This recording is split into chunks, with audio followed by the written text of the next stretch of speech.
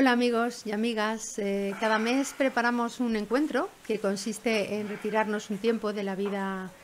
eh, habitual y dedicarnos a la oración comunitaria con otros cristianos, a la oración personal, tanto en la iglesia como en medio de la naturaleza,